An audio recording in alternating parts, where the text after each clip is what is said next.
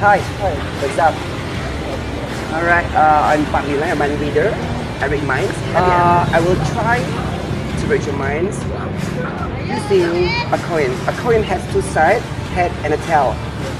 In a moment, you have to put in your bags, okay, and turn it over several times. Bring it out, pick at it, and remember it, and close it back up like this. I will turn away. You understand me? Okay, take it. All right. Turn it over several times. You confirm, bring it out, pick at it, and close it back up.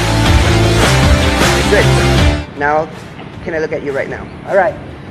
Okay, so you're thinking one side, right? Of the coin. Look at me. Take a deep breath in. Take a deep breath out. Take a deep breath in again. It's head. Yeah. Take a look. Oh, no. Yes. Okay. It's head, alright?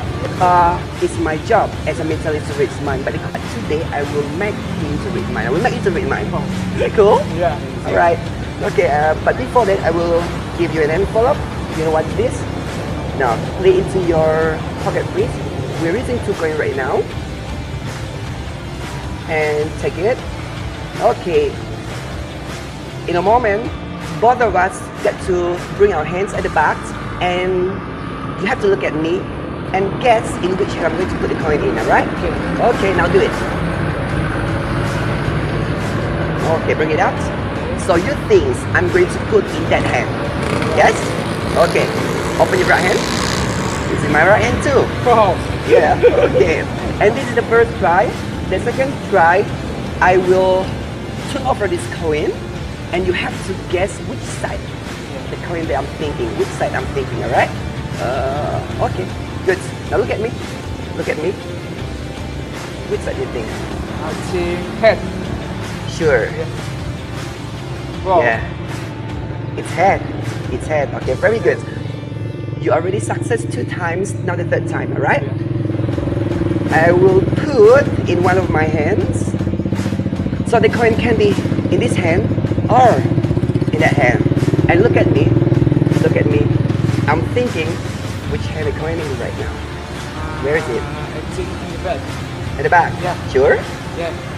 Not in this hand? Yes, it's at the back. Wow. yeah, okay, very good. To prove that I have control of your mind, I gave you an envelope, right? Can you take it out, please? Give it to me. You correct three times in a row, Yeah. all right? There's a paper which says Wow. you will be correct three times in a row. Oh wow. God, you're very good. But I will not let you go out with that power you read somebody's mind. Look at me. I take back. Okay, thank you. Me a high five. Give me a high five. You guys good. Okay, thank you.